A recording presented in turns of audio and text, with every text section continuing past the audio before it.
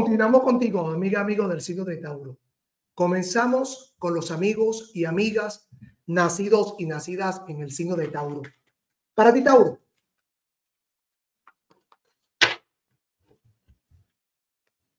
Tres de copas. Tres de oros. Ocho de espadas. Primero, vas a tener una discusión, una confrontación con una persona adulta que se quiere sobrepasar en los límites. Vas a tener una discrepancia, una confrontación, una discusión con una persona adulta o una persona menor que tú que se quiere sobrepasar los límites. Vas a tener un hecho curioso en un bosque. Vas a tener un hecho curioso en Camposanto, pero sobre todo un hecho curioso a la orilla del mar. Vas a ver algo a la orilla del mar que es meramente inusual para ti. Aparte, tú vas a hacer los preparativos para una evaluación médica, porque posiblemente usted por cosa propia entra en una mesa quirúrgica o para algo relacionado con estética o para algo relacionado con la salud o por algo relacionado que tú has querido mejorar en tu cuerpo. Tres de copas, tres de oros, ocho de espadas. Indiscutiblemente estas cartas dicen que usted pueda que viva. Hay una persona que quiere que tú cometas un error. Hay una persona que te quiere llevar a las tentaciones. Hay una persona que quiere buscar la manera que tú caigas en sus tentáculos. Hay una persona que desea que tú caigas en sus redes. Y esta tentación que tú puedes caer te puede llevar por el camino de la perdición. Yo sé que hay momentos que tú te sientes mal. Yo sé que hay momentos que tú tienes problemas en tu vida. Yo sé que hay situaciones que no puedes solucionar. Yo sé que hay momentos que sientes que el mundo se te viene encima.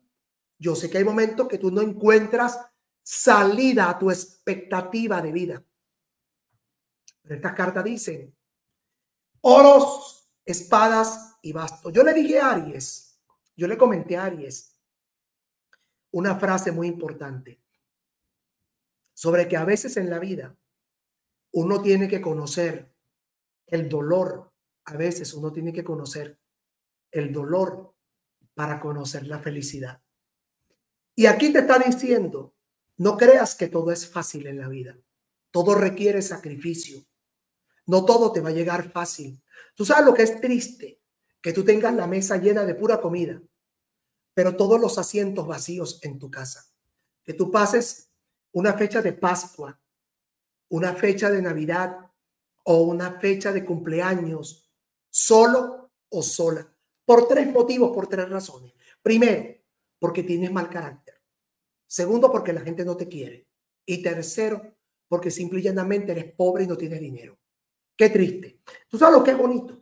Cuando la gente va por invitación propia a visitarte, comadre, amigo, amiga, ¿cómo está la cosa, poeta? Bien, vale, chévere, chévere. ¿Cómo te puedo ayudar aquí, vale? ¿Qué, tienes? ¿Cómo te ayudo? Vente, vamos a darle corazón. Eso nutre más que cualquier otra cosa. Tú sabes lo que es bonito cuando llega Navidad, que son tiempos fríos, tiempo que uno necesita el calor y de repente empiezas a llegar, empiezan a llegar personas a tu casa con alegría. Qué bonito. ¿Tú sabes lo que bonito? Cuando de sorpresa te llegan tus hijos, cuando de sorpresa te llegan tus padres, cuando de sorpresa te llegan tus nietos. Entonces, para que todo esto suceda, hay una serie de eventos que son las que lo producen espadas, oros y copas. Usted buscará la forma, buscará la manera de ser feliz, de ser feliz. La carta de la justicia. Aquí te está diciendo, yo sé que tú tienes que aprender a perdonar a las personas que piensan contrarias a ti. Y yo sé que a ti te da mucha rabia, mucha, mucha molestia, mucho dolor, lo que te hicieron en el pasado. Y yo sé que eso te está haciendo daño. Hay cosas que no has podido olvidar, que te han hecho mucho daño, que tú no has podido olvidar. Sin embargo, hay cosas que tú vas a comenzar a superar. Veo, veo que alguien viene a contarte un secreto porque sabe que tú eres una persona leal. Esto te va a causar un impacto esto te va a causar un impacto. ¿Y tú sabes por qué te va a causar un impacto? Porque tú eres una persona que eres abierto, abierta a las personas que necesitan de tu apoyo, de tu ayuda. Tú eres un consejero. Tú eres una consejera de vida. Y estas son cosas que te llenan. Te va a llegar un mensaje de texto, algo subido de tono. Tú le vas a seguir el juego para ver quién es la persona. Para ver quién es la persona. Copas, vas a tomar una decisión arriesgada que te va a poner al filo de las decisiones. Veo que vas a conseguir lo que quieres. Usted va a poner en las manos de Dios. Usted va a poner las manos en las manos de Dios. Todos y cada uno de sus problemas. Veo que hay una persona que te va a tentar. O sea, va a mover sus piezas claves te va a llevar a su terreno. Quiere llevarte a su terreno. Desea llevarte a su terreno. Pero ten cuidado, no estés preparada. No estés preparado para esta situación un poco complicada para ti. Vas a llamar a un amigo para que te ayude a conseguir unos documentos, algo que necesitas y le vas a pagar un dinero. Una persona de signo tierra, Tauro, Virgo, Capricornio, te va a, te va a ayudar para que crezcas a nivel profesional. Vas a tomar un nuevo rumbo en tu vida. Vas a tomar un nuevo camino en tu vida. Doris Bruce, ¿cómo estás? ¿Cómo te sientes? Bienvenida, Doris. Un abrazo para ti, mucha buena vida. ¿Cómo está la familia? Ena Ruiz, bendiciones. Teófila, gracias. Denle a la manito, por favor. Denle a la manito. Eso significa que les gusta y YouTube nos apoya. Veamos. En la parte de la salud, rey de copas, oros, oros en la salud. Aunque tú te encuentres físicamente bien, aunque tú te encuentres físicamente bien, hay malestar que afecta más que lo físico hay malestar que afecta más que lo físico, lo emocional, lo espiritual. Eso afecta más que lo físico. ¿Tú sabes lo que afecta más? La ansiedad, la preocupación, el estrés. No tengo dinero, estoy endeudado, tengo un problema legal que no sé cómo salir, tengo un problema con mi pareja, mis hijos no me quieren, me abandonaron, me falta. Esas son cosas que aturden la mente, que aturden la mente. Tú te sientes perdido, tú te sientes perdida, no sabes qué hacer. Siéntate, poeta, siéntate, amiga. Mira el regalo maravilloso que Dios te ha dado. Tú tienes que buscar la manera de entretener tu mente entretener tu mente. Y tú sabes por qué tú tienes que entretener tu mente. Tienes que entretenerlo para que le pueda dar diversificación de elementos productivos a tu conciencia. Y te vas a convertir en una persona productiva. En la parte económica, no te encierres. Tauro, no te encierres. Busca la manera de abrirte, buscar la manera de, de, de, de, crear cosas nuevas.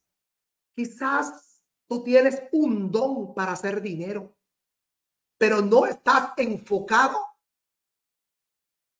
enfocada en esa situación. No estás enfocado, enfocado en... Entonces, en la parte económica, en la parte económica, tú tienes que buscar la manera de llegar a tus clientes, de llevar tus productos hacia nuevas personas y esto te va a ayudar a crecer de una manera rápida, oportuna, eh, fácil y que puedas tener la estabilidad que te mereces. En lo laboral, en la parte laboral, tú vas a dar un giro importante en tu vida. Y te lo repito, tienes que darle tienes que darle un giro a tu negocio. Usa elementos persuasivos como marketing digital, inteligencia artificial, redes sociales, plataformas digitales para el impulso de tu negocio, para el impulso de tu proyecto, para la comercialización de tus negocios, para la comercialización de lo que tiene que ver con, tu, con tus proyectos. Y vas a generar ingresos. Aparte, tu empresa va a crecer, tu empresa va a prosperar, tu empresa va a tener éxito. En el amor.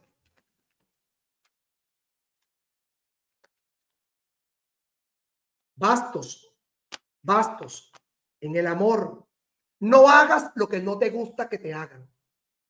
No hagas lo que no te gusta que te hagan. En el amor. Si tú escogiste a tu pareja, es porque tú decidiste estar al lado de ella, estar al lado de él. Cuando tú te casaste con ella, con él, nadie te obligó. Entonces, aquí en el amor, en el amor, tienes que darte amor a ti mismo primero, porque lo demás viene por añadiduras. Tu pareja, si tú te amas y tu pareja ve que tú la amas, que ambos se aman, va a haber un apoyo mutuo. Pero tú te estás olvidando de ti.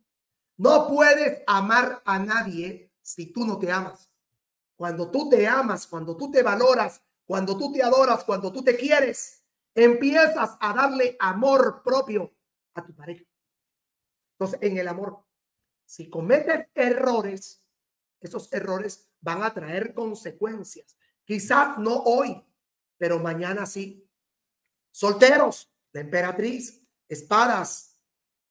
Solteros, vas a tener un hecho curioso en una iglesia. Hay un hombre, una mujer que quiere amarrarse a tu vida. Hay cosas que te están ocultando. Hay alguien que te está ocultando algo. No hagas nada que lleve, que te lleve a arrepentirte. No le exigas tanto a tu novio, a tu novia. Tú te vas a comprar un vehículo, vas a buscar de crecer económico y profesionalmente. Hay una persona que se va a enamorar de ti con locura. Eh, tu novio, tu novia te está ocultando algo. Vas a visitar la casa de alguien que te gusta. vas, a, vas a conocer a tus padres. Vas a, vas a relacionarte bien. Veo que vas a resolver un asunto legal con un abogado, con un juez. Eh, alguien desde lejos te extraña divorciado, divorciada, divorciada, divorciado. En cualquier momento, usted va a firmar un documento importante de negocios. Tú te liberaste, sacaste de tu vida a una persona que te hacía mucho daño. Vas a descubrir una persona que tiene una obsesión contigo que prefieres mantenerla lejos de ti. Te reencuentras con un familiar lejano. Hay una gran bendición que va a llegar a tu vida. Te vas a dar el amor que te mereces. Tú terminas una amistad de muchos años porque descubre que no eras leal contigo. Hay dos personas que van a luchar para tratar de conquistarte. Hay un asunto legal que vas a resolver. Hay un dinero que va a llegar a tus manos. Hay un asunto en una corte, en un tribunal. Divorciado, divorciado. Para que salgas de la depresión, de la ansiedad y del estrés. Suéltate, suelta todo, libérate de todo. Y habla con Dios también. Y busca ayuda de personas que te puedan apoyar. Ya regreso con Géminis. Ya regresamos con Géminis. Giselle Serafino, bendiciones para ti. María Roca, ¿cómo estás, María Roca? Había un cantante argentino, creo que, que se llamaba Elio Roca. ¿Cómo deseo ser tu amor para mirar así en cada espacio de tu boca? ¿Cómo deseo ser la luz Creo que era así, ¿no? Creo que esa era la canción de Helio Roca. Bellísimo cantaba ese, ese señor, padre cáncer. Noelia. ¿Era Noelia? No, Noelia es de, de otro cantante. Ah, no, sí, sí, sí, sí, sí. Noelia cantaba Helio Roca. Sandro era Rosa, Rosa, la maravillosa. Rosa, Rosa. Ya regreso, ya regreso. Gracias por acordarme, gracias por acordarme. Ay, Dios mío.